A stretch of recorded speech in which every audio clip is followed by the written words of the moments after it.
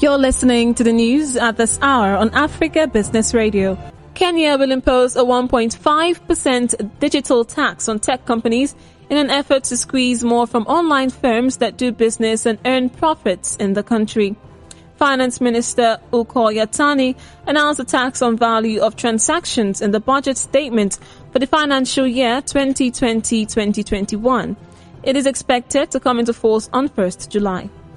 Kenya joins the list of countries that have imposed tariffs on tech giants such as Google, Netflix, and Facebook. The US is opposed to digital taxation, saying it unfairly targets American technology companies.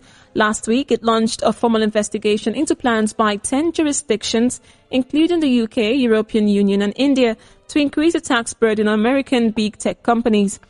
The countries have imposed digital services tax of between 2% and 15% and risk retaliatory tariffs from the US.